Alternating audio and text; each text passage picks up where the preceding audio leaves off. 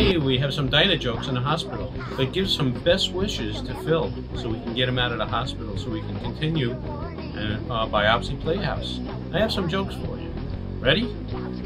All of a sudden, Phil had to have surgery this week, and this is a true story. Hi, I'm Mr. I'm Dr. Schmeckelheimer. Uh, doc, you're Mr. Decrepitus, correct? Yes. Can I have your date of birth? Um, 21125. Oh, okay. I have some bad news for you. We cut the wrong leg off.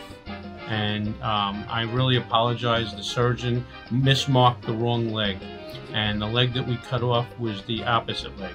So we're going to bring you down to surgery right now and cut off the other leg because you had that bad accident and you, you know we don't want an infection to start it. So basically, what's going to happen is we're going to put you out and, and give you another amputation.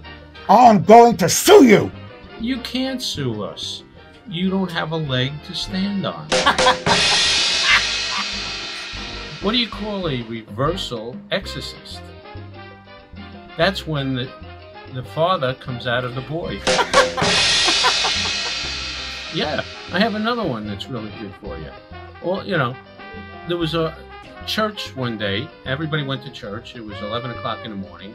And Father Carmine said, Listen, I'm sending the two altar boys outside to bring everybody in.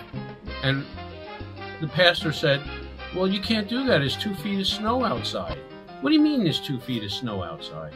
Yeah, I can't. You can't let those two altar boys outside. Why would you have those two altar boys outside and two feet of snow? He says, Ah, I like the two cold ones after church.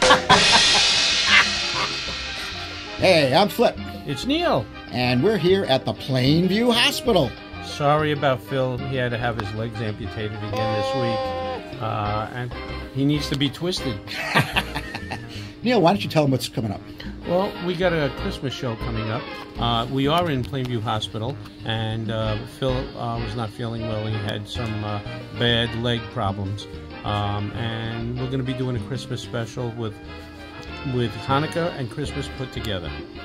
Um, we're going to be doing jokes. Uh, we're going to be doing a whole uh, winter special for you, and we would like uh, you know some of our fans to give a hey out there for Phil to feel better, so he can get home and we can continue this biopsy playhouse. So be twisted. Be there, get twisted.